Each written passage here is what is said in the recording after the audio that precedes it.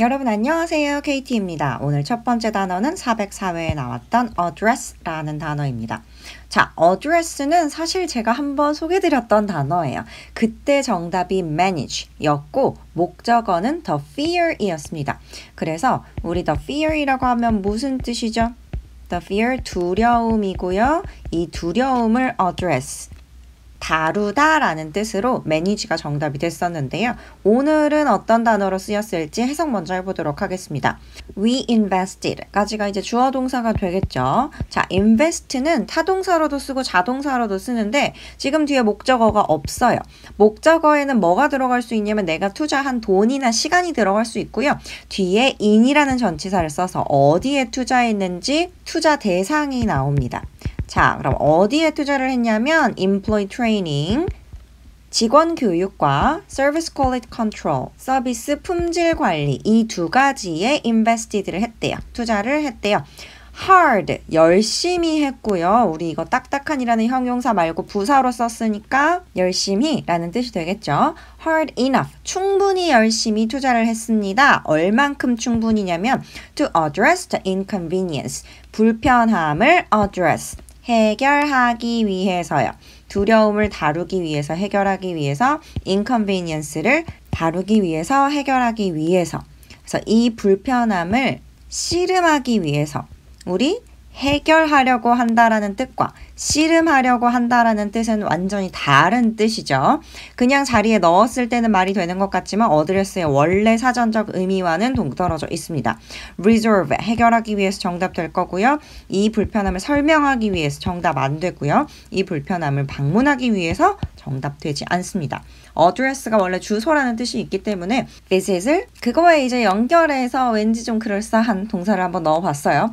inconvenience 어떤 불편함이냐면 그게 뭐냐면 customers가 complained about 합니다. complain은 타동사 아니고요. 항상 무엇 무엇에 대해서 불평하다 쓰시려면 about 꼭 들어가 줘야 합니다. 그래서 고객들이 불평하는 그 불편함을 해결하기 위해서 정답은 B, reserve가 되었습니다. manage reserve 둘 다 외우고 계셔야 될 것 같아요. 자, 두 번째 단어입니다. 이 문제는 당시에 해석을 해보셨던 분들은 다 맞으셨고, 해석을 안 해보셨던 분들은 다 틀리셨던 그런 문제였어요.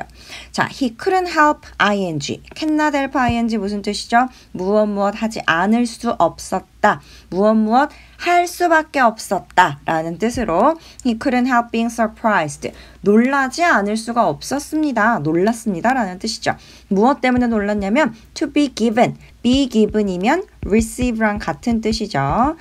주어졌다라는 거니까 받았다라는 뜻이 될 거고요. 받아서 놀랐대요. A breakdown. breakdown을 받았는데 무엇의 breakdown이냐? His mother's hospital fee. 어머니의 병원료, 병원비의 breakdown을 받고서 놀라지 않을 수가 없었대요.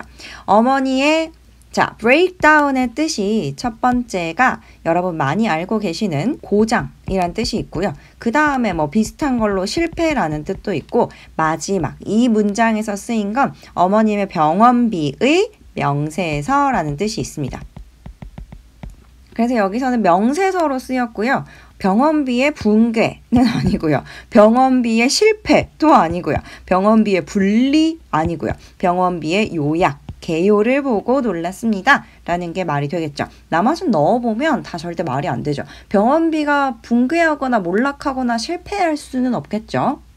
이제 이게 많이 나오면 사람이 몰락하거나 실패할 수는 있겠지만 이 병원비 자체가 붕괴하거나 분리될 수는 없습니다. 그래서 두 번째 breakdown 정답 summary까지 암기해 주시면 좋을 것 같습니다.